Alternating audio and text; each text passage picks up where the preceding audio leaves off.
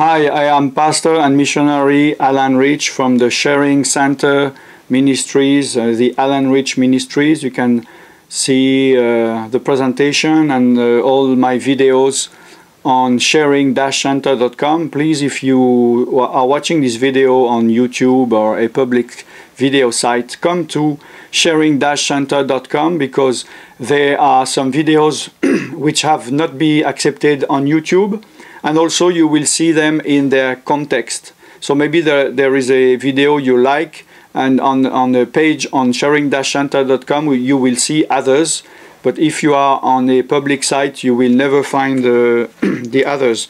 Today I'm going to talk about uh, superstition and uh, the fe uh, fear, to be afraid of things.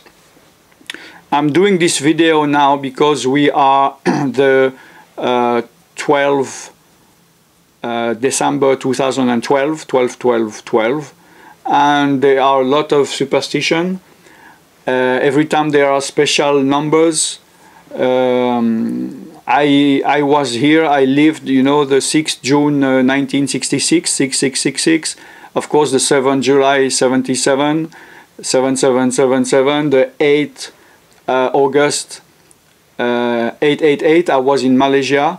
You know, Malaysia is. Uh, they are Malay people, they are Indian people and Chinese people, and it, it's a, a special number for the Chinese, number 8 and on that day I didn't even uh, notice that we were the 8888 but I saw a great celebration and I, I used to when I'm in, in, a country where there are Chinese or Chinese country to see some celebration and I thought oh what is it today what is it is it a, a special day and they told me uh, it was just because it was the 8888 and they were all playing you know, games to win lottery, and they were getting married on that day. And uh, today we are the 12, 12, 12, 12, and uh, it's the last time for a long time because there is no uh, 13 uh, months. The next time it should be uh, in, uh, I guess, 89, 89 years. The 1st of, Ju of January to, 2101. So I want to speak about superstition because for many years now I have been meditating and looking in the Bible and I was very surprised not to find this word. And it was like uh, the Bible was not talking about superstition. And I was, I was uh, really, you know, I, I, I didn't understand why.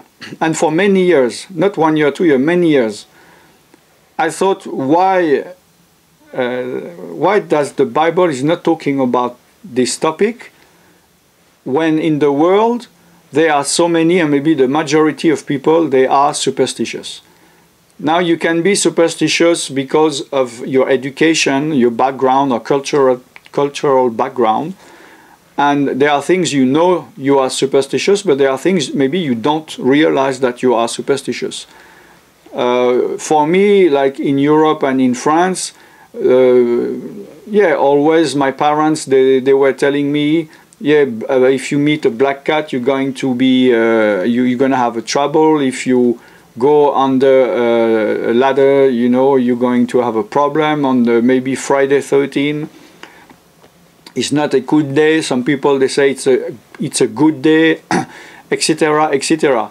And there might be local uh, superstitions, and uh, also, uh, you can develop your own superstition without uh, knowing. Uh, of course, some people they, they even get some uh, sickness out of it. Uh, you know, if they do not turn off uh, the light seven times or eight times, they will die.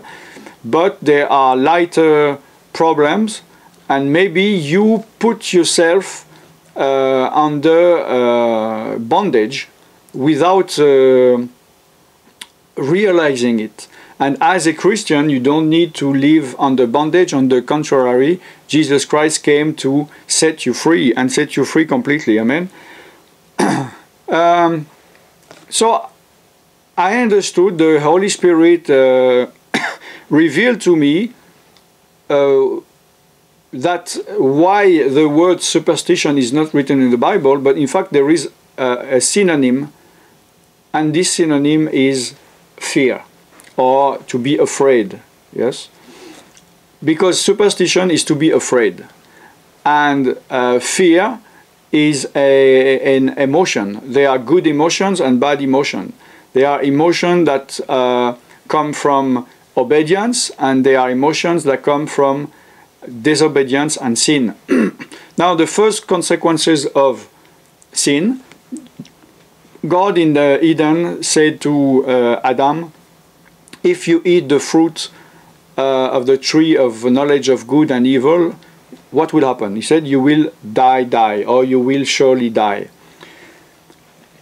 And it happened. But the first thing that, the first consequences of sin that uh, Adam lived or or uh, uh, had, of course, it was not like instant death. It's not like Adam die on the spot. No, what was it? We're going to see, and you will see.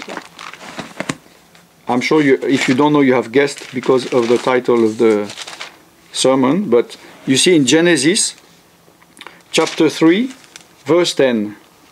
Uh, we can see from the 9, the, you know, when Adam uh, sinned, then the Lord God called to Adam and said to him, Where are you? So Adam said, I heard your voice in the garden and I was afraid because I was naked and I hid myself. I was afraid. this is the first consequences of sin for humanity, for Adam, to be afraid, fear. And since then, uh, the devil is surfing on that great emotion for him. It's a, a lot, a lot, a lot of Christians. Uh, they are uh, progressing in their spiritual life, but concerning emotion, especially uh, fear, uh, they don't know how to deal, and the, the, the, the, the devil has so many people under uh, his uh, claws by being able to manipulate them to make them fear. Even using the word of God. You know that, but it's not the topic today. As a Christian, uh, Jesus died on the cross so that we can be blessed again, enter again into the blessing that was uh, ours at first. Yes, to get out of sin, to get out of the world, to get out of the curse. And in the presence of God, in the blessing of God, there are many things. There are emotions, but one emotion that is not is fear. We can see that in the first uh, book of John, first epistle. It's not the uh, the gospel. Huh? It's at the end of the Bible. It's a small uh, book. There are three books, epistle. So it's first, the first book of John, chapter four, verse eighteen. There is no fear in love, but perfect love casts out fear, because fear involves torment. But he who fears has not been made perfect in love, and God is love. So, fear, the bad fear, there is good fear, but the bad fear is not from God. Of course, you, you know, we, we say that we are we have to fear God. this is a good fear. It's not to be scared. Unfortunately, in English, you don't have two words because it, uh, there should be two words. Like in French, we have two words. One, one for fear, the good fear, which means fear without being scared. You know, the fear of God, the fear of uh, our parents. You know, to respect them and the fear to where we are scared where it's negative so it's easy to it's more easy easier to understand for example in french but you have to understand those two aspects of fear. So the fear, the bad fear, is not in the love, it's not in the Holy Spirit. So you should not fear, so you should not be superstitious, because to be superstitious is to fear. Is you you walk somewhere, then you see a black cat, you have a fear. And then you, you're going to think, oh, in my mind, I have been told that if I see a black cat, I may have whatever. Maybe something very bad may happen. So maybe in your culture they say, be careful all day long. so you're going to be careful all day long because of that. You're going to be in fear. And if nothing happened, the next day you wake up, you say, ah, great, I didn't have problem. Maybe in another culture they will say, be careful three days. You know, and if ever something bad happen, you will say, oh, that was because of the black cat. This is not good. Huh? Uh,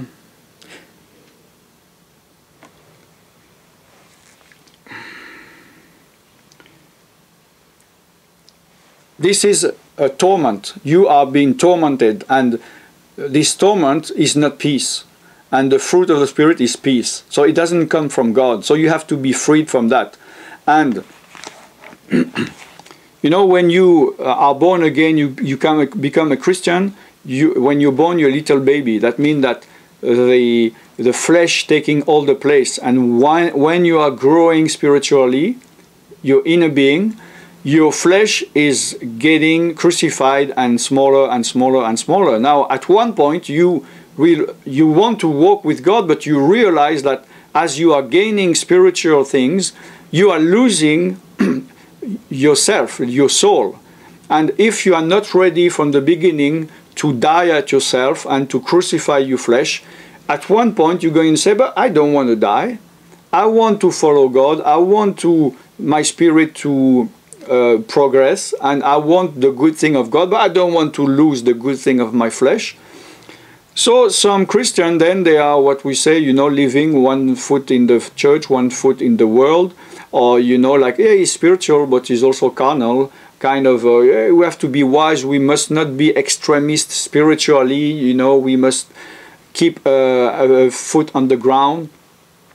And in this part of the flesh, you are letting in you, there might be fear. And although you are uh, a good Christian, you are maybe a pastor, you are speaking in tongues, you are preaching or whatever, maybe every time you walk and you see the number 13 or you, I don't know what, you fear.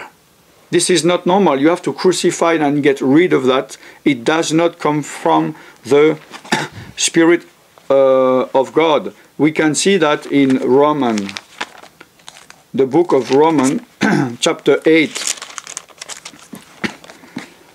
And it is say, Romans 8, verse 15, you did not receive the spirit of bondage again to fear, but you received the spirit of adoption by whom we cry, Abba, Father. The spirit he's talking, referring to here is, of course, the Spirit of God, the Holy Spirit. And the Spirit of God is not a spirit of bondage. On the contrary, it's the spirit of freedom. That's why so many Christians are abusing the Spirit of God. And they're taking liberty, freedom to uh, disobey, to wait, and to do whatever they want. So the Spirit of God is not a spirit of bondage, it's, but, uh, sorry, a, a bondage again to fear. So the Spirit of God will never use this bad fear like the demons, the, the evil spirits, or the devil is using. The devil is using the fear, the wrong fear, to make you do something or to make you stop doing something. but the Spirit of God will never use this fear. Of course, he can use the fear of God, the good fear, but he, the Spirit of God will show you, tell you something, and then you have the freedom to refuse or to accept it. But uh, the, the demons, the evil spirit, they will use the wrong fear to um, put you in bondage. because the Spirit of God is a spirit of adoption where you can say God, Father, and a good father does not put his son, his daughter in bondage or in, in a wrong fear. Amen? so most of the people, they are under bondage in this world and one of the reason is fear and it may be superstition. Uh, we're going to see in, in uh, Hebrew, Hebrew, sorry, uh, chapter 2,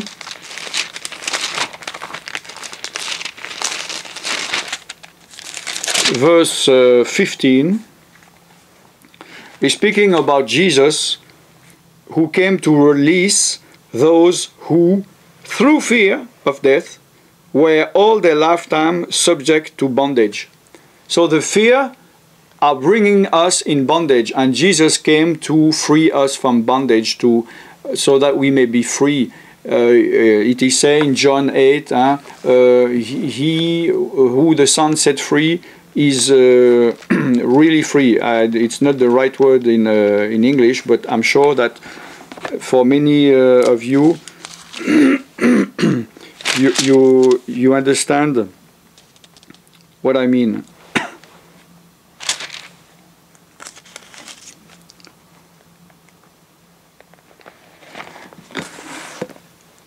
So, as a Christian, you still may have superstition, maybe things you may you may know thinking, yeah, okay, I'm with God, I am baptized in the Holy Spirit, I walk with God, but you never know. It's uh, you know it doesn't cost anything not to walk in front of the number 13, or you know, if I see uh, a black cat, uh, just make a prayer to protect myself, uh, whatever.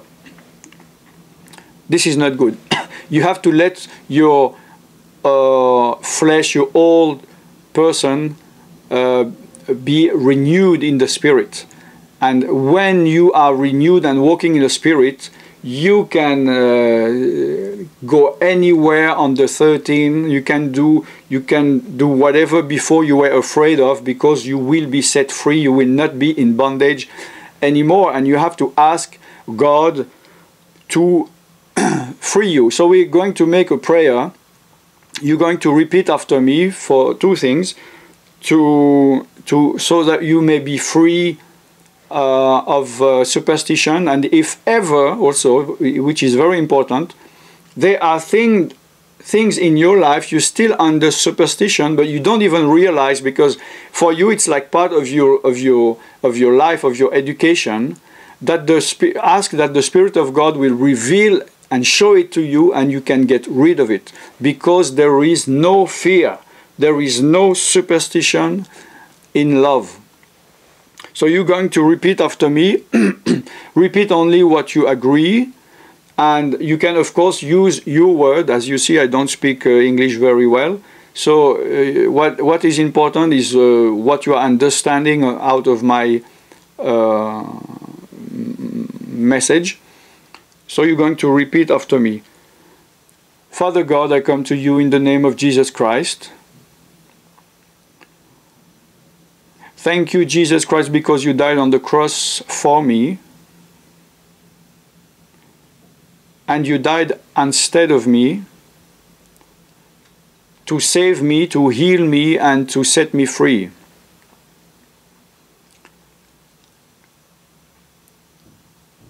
I believe, Jesus, you can set me free from any bondage.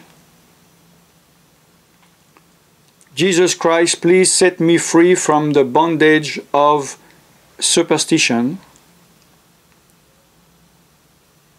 Jesus Christ, please set me free from the bondage of fear.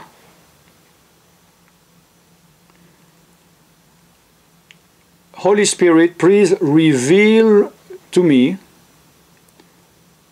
any hidden fear that I may have in me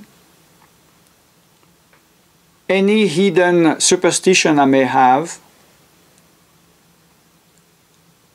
and show me how to be uh, to be set free from them.